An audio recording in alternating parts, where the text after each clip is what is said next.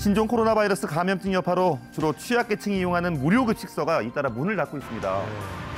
이곳은 아직 배식을 이어가고 있는 무료 급식소인데요. 이른 아침부터 점심 한 끼 식사를 위해서 찾아온 사람들이 많았습니다. 요즘은 유독 그런데 다른 지역에서 오는 사람들이 많다고 합니다. 그러니까 이제 연락하긴다 그랬어요. 다 전화로. 전화 올라가면 성의하고 다 적었어. 이렇게 막 이런 거다 병원에 놔뒀으니까 이제 연락이 오겠죠. 신종 코로나 바이러스로 인해서 운영이 어렵기는 이곳도 마찬가지라고 하는데요. 밥하고 국, 반찬 3개, 3찬이 나가는데요. 이렇게 나가려면 봉사자가 30명, 40명이 필요한데 20명도 안 되는 인원이 돼버리면 저희가 인원, 일손이 부족하기 때문에 국하고 밥만 나가요. 다중이용시설 좀 기피하면서요. 자원봉사자 수가 절반 이하로 줄었다고 합니다. 바 봉사자 취소가 많이 돼서 확인차 한번 연락드렸어요.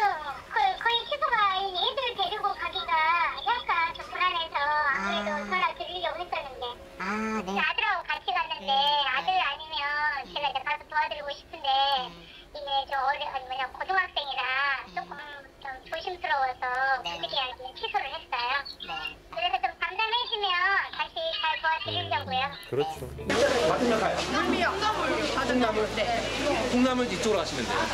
이제 밥, 떨기, 마늘 까기도 가운데로 가면 돼요. 네, 이날은 반가운 손님들이 찾아왔습니다. 봄방학 맞아서 학생들이 자원봉사에 나선 겁니다. 일손 하나라도 더 보태기 위해서 찾아왔다는 새내기 자원봉사자들인데요. 뭐 익숙한 일은 아닌데 그래도 누구보다 열심히 그리고 정성껏 어르신들의 점심 식사 코로나 준비합니다. 바이러스 때문에 봉사자가 좀 없을 것 같고 그 옛날부터 계속 눈여겨 보고 있었다가 이번에 오게 됐습니다. 걱정되긴 하는데 잘 지나가지 않을까. 힘들긴 하는데 도울 수 있다는 거라서 도울 수 있다는 생각에 할 수는 있을 것 같아요. 여전히 그 자리를 지키고 있는 자원봉사자들 이런 상황에서도 무료 급식소를 계속 운영할 수 있는 가장 큰 버팀목입니다. 빨리 확산되지 않고 진정됐으면 좋겠고 그래도 상황이 그렇다 우리가 뭐 밥 먹고 살잖아 다 그러니까 무서워할 필요 없이 마스크 끼고 어, 조심해서 나와서 좀 그, 밥하고 활성화됐으면 좋겠어요. 우리 손주딸도 난리인데 할머니 거기 가면 안 돼, 안 돼. 가지 마, 가지 마. 그래도 와야지. 그래도 와야죠. 그래도 와야지. 네, 이렇게 오늘도 자원봉사자들의 따뜻한 마음으로 정성스러운 한 끼가 완성됐습니다. 오전 9시부터 2시간 넘게 봉사를 하는 이유는 단 한 가지입니다. 이곳을 찾는 700여 명의 사람들이 끼니 굶지 않고요. 건강하길 바라는 마음이겠죠. 감사하고 고맙고 동생아도 좋습니다.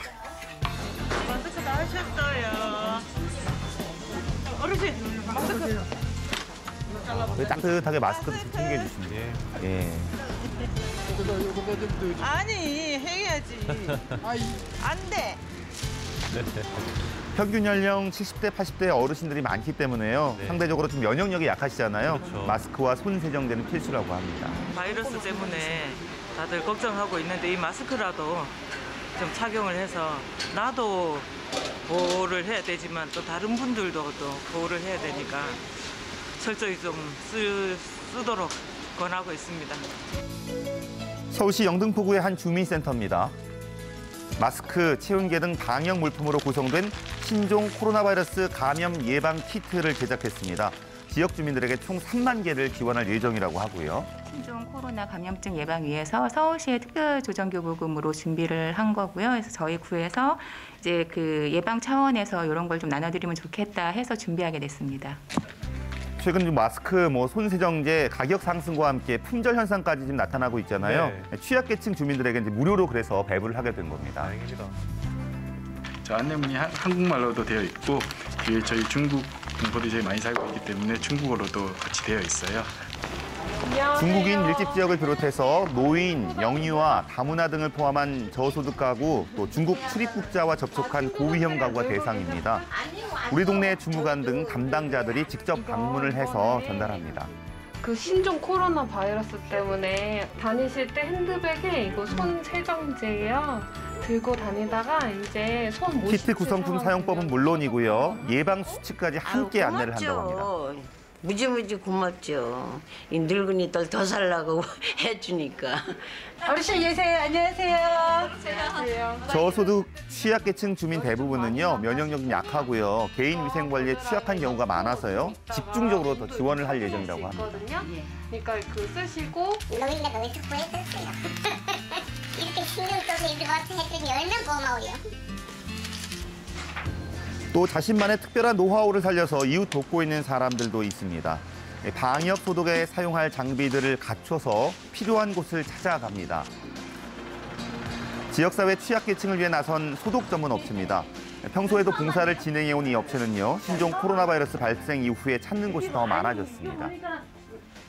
작년부터는 조금씩 그쪽에 어, 봉사도 좀 했었고 소독 진행하는데 그걸 지금 하느라 많이 바쁩니다. 방역에 대한 필요성 높아지면서 주말에도 쉴 수 없을 정도라고 하는데요. 이 감염에 취약한 곳을 위주로 방역 소독 봉사도 진행하고 있습니다. 아무리 바빠도요 절대 지나칠 수 없는 일이라고 합니다. 뭐 인체 무해한 소독약 사용해서 집안 구석구석 소독했습니다. 타주시면 되게 좋아요. 고맙습니다. 네, 손길이 필요한 곳에 찾아가는 거, 뭐 이게 가장 보람된 일이라고 하네요.